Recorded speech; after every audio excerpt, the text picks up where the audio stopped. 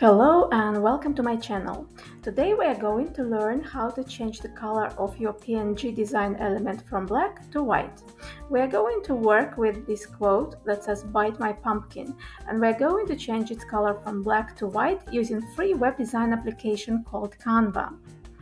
If you're a beginner designer or if you're working in print on demand industry, please do subscribe to my channel. There is a lot of useful content for you. And now let's begin. Here I am at canva.com.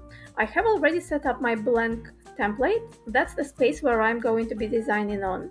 The first thing you need to do, you need to upload your PNG into your design element database. You can do this using this upload files button. Simply find the file in your computer and upload it to Canva. I have already done that in order to save us some time and I can find my element in my uploads page.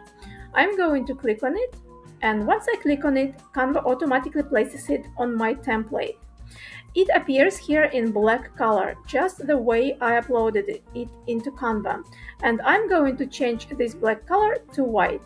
But once I change it, it is going to disappear on my white background. So I'm going to change the color of my background first, so that when the PNG is white color, it will be visible. So I'm clicking on the background and then I'm going to click on background color options.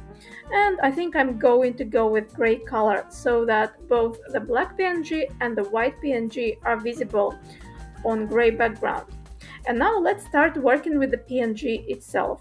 First we are going to click on it and then we are going to click edit image. Here we are going to see a panel that offers us a lot of options that we can use in order to change or alter our PNG element or our design.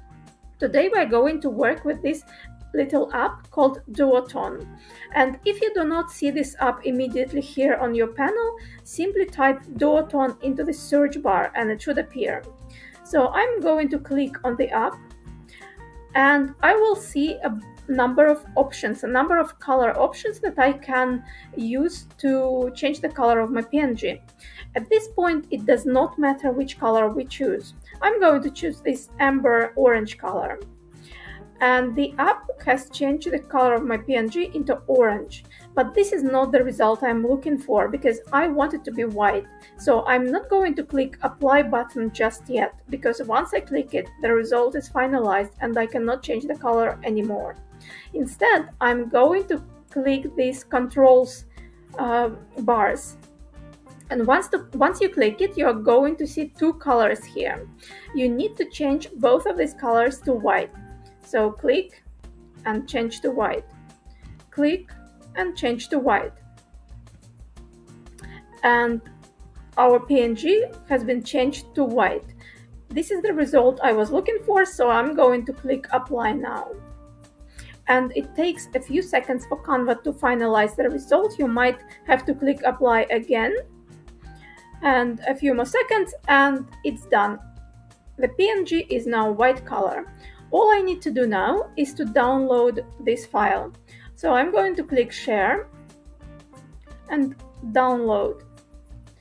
And here, one important thing that I'm going to do, I'm going to choose transparent background because if I don't choose transparent background, my file will be downloaded with this gray background and I don't want it. I just want my white PNG. So I clicked transparent background and download. And that's it, my file is being downloaded. I hope you enjoyed the video. Please do subscribe to my channel because there is a lot of useful content for beginner designers and people who work in print on demand industry. Thank you very much.